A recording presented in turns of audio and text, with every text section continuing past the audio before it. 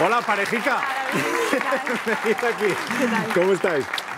Oye, gracias por acompañarnos hoy y por venir, no a concursar como en otras ocasiones, también os disfrutamos incluso más cuando venimos relajados, y hablar de algo tan bonito como el amor, ¿no? Hombre. Sois de Navarra, pero ¿de dónde?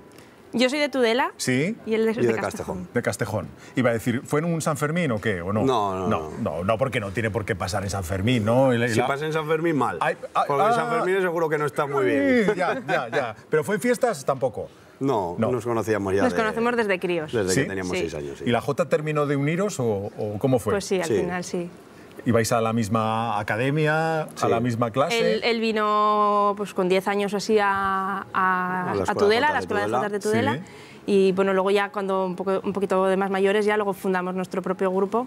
Somos seis componentes y bueno, pues bien. ahí ya sí que terminas de, de- Ah, de unir. Claro, claro, porque la cuadrilla, ¿verdad? Une, luego después del ensayo te quedas un poco más. ¿Te acompaño a casa? No, ahora yo a la tuya y estas cosas. ¿Desde qué edad lleváis juntos? ¿Desde los? Desde el 2010. Diez, no, juntos llevamos poquito poco tiempo. Poco tiempo. pero os Conociéndonos conocéis. desde los seis años. Pero bueno, esto ha sido... Pero que no se dejaban, no se dejaban. Ah, aquí quería llegar no, yo, no, no, aquí quería llegar yo. Hasta aquí ya no quiso, ¿has visto? ¿Y eso? ¿Eso era ya? Así son las mujeres. Seguro que a ti también te pasó lo mismo. No sé, no, no, no me acuerdo ya, Ya te ya no me acuerdo de sí. ese tipo de cosas. ¿Y qué- qué- dónde estuvo la chispa? ¿Dónde, ¿Qué crees que pasó para que ella dijera, venga, que sí, va? Pues no sé, oye.